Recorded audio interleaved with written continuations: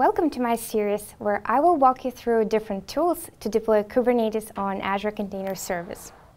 When working on a distributed system with many moving parts and diverse platforms, there is always need to have an easy way to manage your system altogether. And Azure provides an option to use well-known and proven orchestrators such as Kubernetes, DCOS, or Docker Swarm. And if your services need to be adjustable, Azure Container Service is a right tool with a lot of flexibility. And in this part, we will do an overview of options and look at Azure CLI first. And in the next videos, I will cover Azure Resource Manager and Terraform.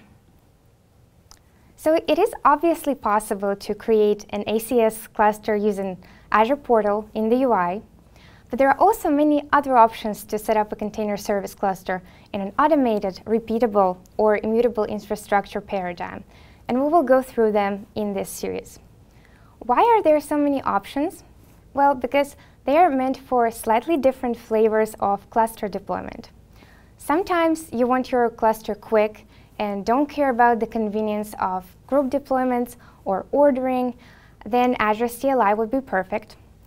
Sometimes you want to have repeatable definitions for your resources in a native to Azure way and always have your infrastructure deployed in consistent state.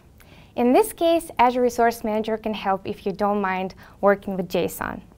Or you might want to have cloud vendor independent way to deploy your resources and preview changes before applying them. Then Terraform is a great choice. So let's take a quick look at Azure CLI option. First of all, we need an SSH key pair to use when creating an ACS cluster.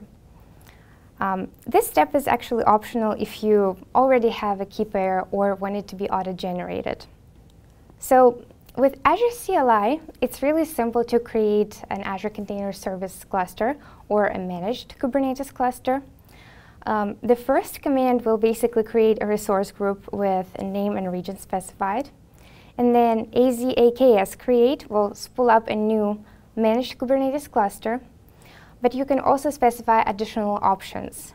For example, SSH key value to indicate the SSH key you created earlier, or agents count to change number of agents in the cluster, or many other options. And in the next parts of this series, we will need service principal ID and password. And this command will create a service principal with the role uh, contributor for our specified subscription. So we have looked at Azure CLI to create a Kubernetes cluster on Azure and prepared a service principal for the next parts. And in the next video, I will show you Azure Resource Manager for creation of the AKS cluster. So don't miss it.